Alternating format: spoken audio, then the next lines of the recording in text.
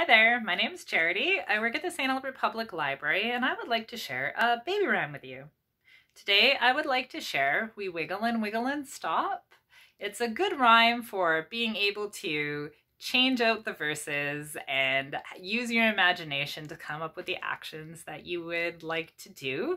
You can extend it as long as you and your child are enjoying it.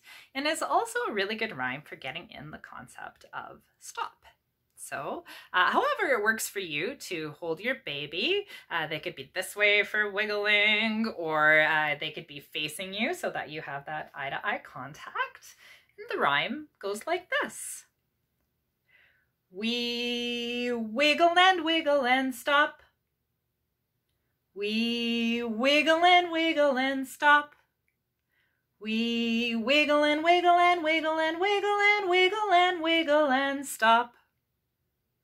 And the idea being that you can change what you're doing. So how about bouncing?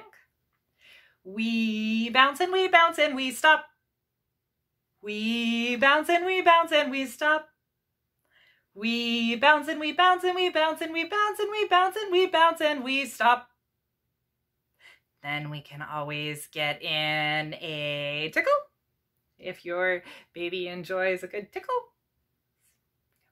We tickle and tickle and stop. We tickle and tickle and stop. We tickle and tickle and tickle and tickle and tickle and tickle and stop.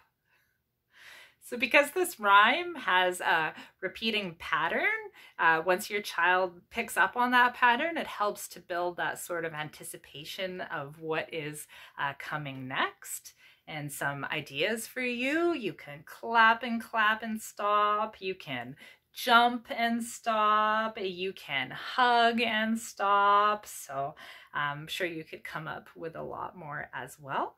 And I hope you have a lot of fun with that rhyme and tune in for more.